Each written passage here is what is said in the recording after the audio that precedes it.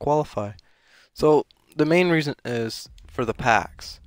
Um, the packs are a lot better than Hut Champs, and you can play Hut Champs and this because they don't they they run into each other, but you can play either one. Say say you're a top 200 player, you're getting two Ultimate packs, two NHL players packs, and that's like better rewards than Hut Champs. So the best strategy going into this is try to get if you're all right, just play your games.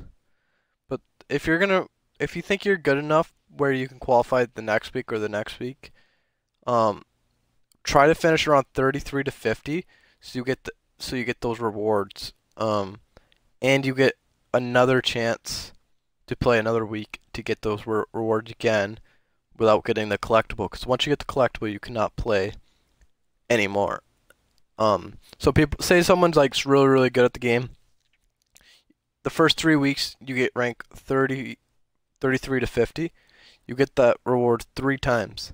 And the fourth week you get the the collectible and those rewards.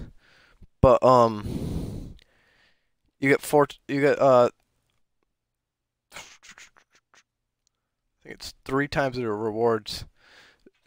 Three times the rewards if you don't qualify week one and qualify week four by getting around this ranks so the best strategy is to finish around these and then get this but if you're uh, a player that you're not confident enough in your abilities, if you're like going to qualify just barely or whatever, and you don't think you'll do, be able to do that again, just just play your games how you would and play your hardest and try to get highest as you can.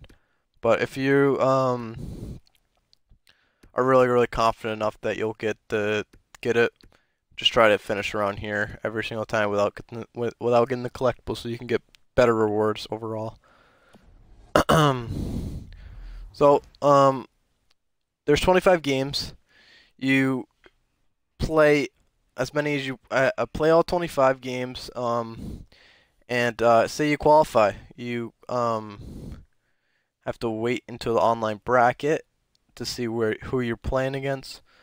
But I suggest anyone to sign up for this because it's very good rewards, and uh, you never know. And uh, yeah, that's pretty much it. Thank you guys for watching. We should subscribe, like, and peace.